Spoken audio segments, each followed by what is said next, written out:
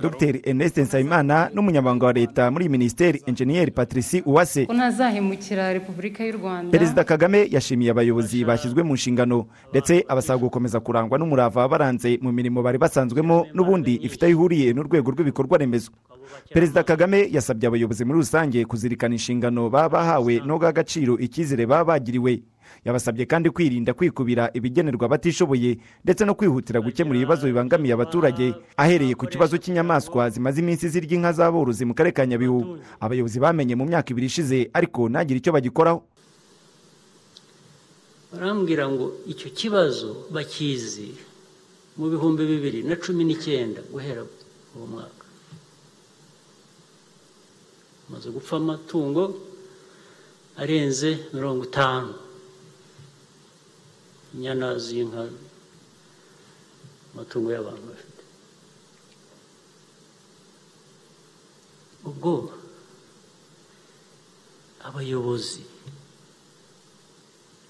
nk'ubwo iyo ndwara iba iri mu bayobozi umuntu ayivura ate? Ni iyihe? Muyumva mute? Perezida wa repubulika yifashishije urugero rw'agapfukamunwa yasabye abayobozi kumva ibibazo by'abaturage no kureba inyungu z'umuturage mu byo bakora byose.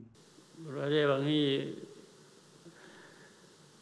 indwara ya kovidi yaciye ibintu yatumye twambara ubupfukamunwa iyo buza kuba bwambara ku maso na yo kuvuga ngo ntabwo babona.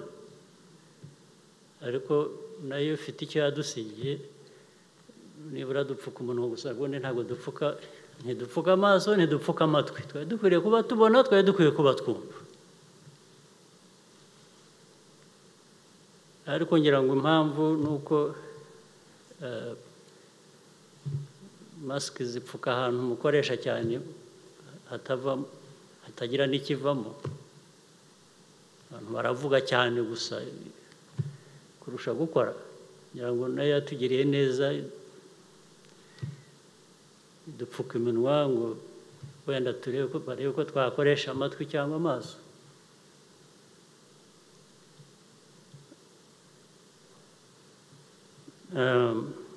Abayobozi rero kuza hano gusa tukajya muri seremoni tukabarahiza abantu nyine ni nk'uko babyita ngo ni umugenzo. Ni umugenzo ni ukuza mukarahira mugafata idarapo mukisohokera. Ariko abantu gukora ibijyanye n'ibyo barahiriye ni ikibazo. Dukwiye kugisuzuma. Ntazahemukira repubulika y'u rwanda. Dr. Ernest nsabimana yagizwe minisitiri w'ibikorwa remezo yari umuyobozi mukuru w'urwego ngenzuramikorere rura. Naho enjeniyeri patricie uwase yari asanzwe ari umunyamabanga uhoraho muri iyi minisiteri.